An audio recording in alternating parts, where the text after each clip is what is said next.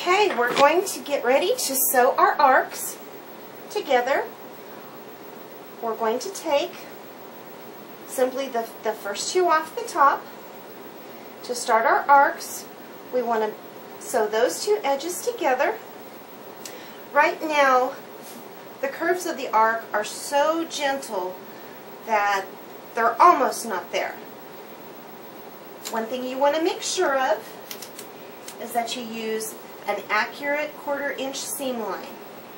And we're just going to sew these patches together.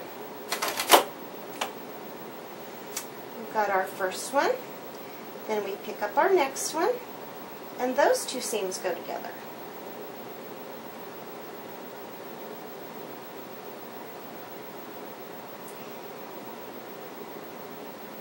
As you sew the bigger patches together, when we get to the end of the arc, the curve will become a little bit more noticeable and you can finger hold those curves together. There's really no need to pin.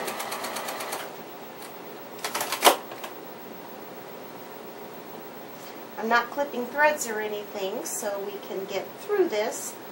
Normally I would clip those little threads off and make them go away.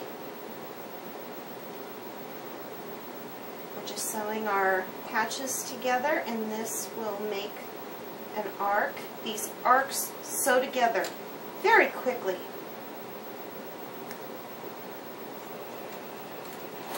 I'm getting to where I can see a little bit of a curve. The bottom patch is concave and the top patch is convex so we want to make sure we just pull that top one over just a little bit so we can match those curves. You see the top curve goes this way, the bottom curve goes this way. I start with them together. Put a few stitches in. Then I can take my fingers and just move that bottom patch to match that top curve. You can use pins if you'd like. Our arc is coming together very nicely.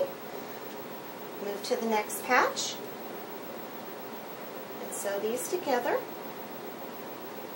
Our curve is becoming a little bit more pronounced. So we want to make sure we match those edges.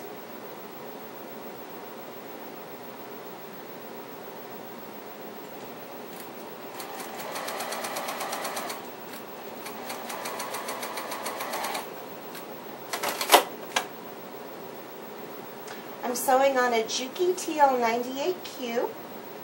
It's a straight stitch machine. It also does awesome free motion quilting. And I love the cutter button. Put a few stitches in. Take your fingers, match those little curves up. Want to curve that bottom piece to the top piece. Really doesn't take much more than holding it.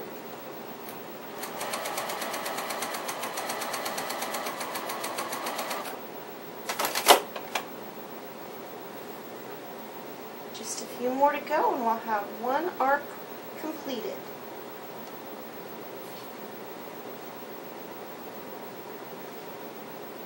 The way you make your stacks with the points, mark top point all going the same direction makes it much easier to pick up each patch as you're adding it.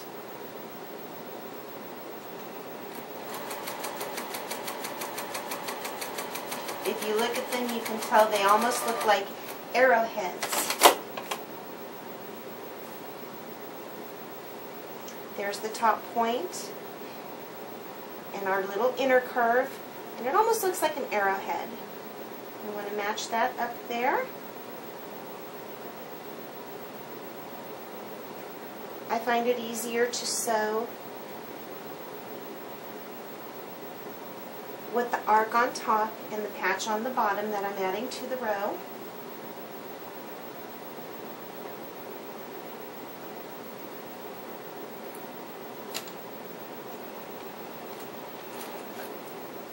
Once again, I'm going to bring those edges together. Just hold them with my fingers.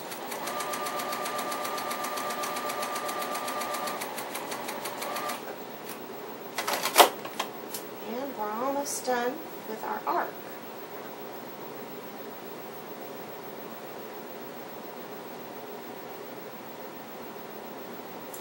This very last patch, get it to match, we're going to offset it just a little bit to where this top piece meets the bottom piece, just down a little bit.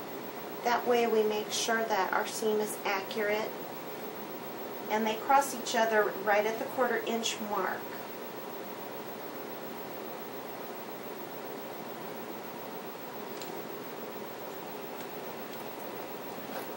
Put a few stitches in.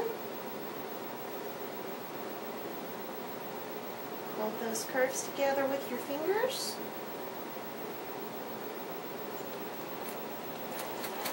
As you can see, the curves are so gentle on this that they're not scary at all. And that's how quickly one full arc goes together. What I'll do now, when I go to press it, I will press the seams down on half of the arcs and up on the other arcs. What that does, every other arc, this one will go down, the next one will go up, and then the next one will go down. That way, when you get to joining your arcs together, you'll have seams that nestle and your points will match.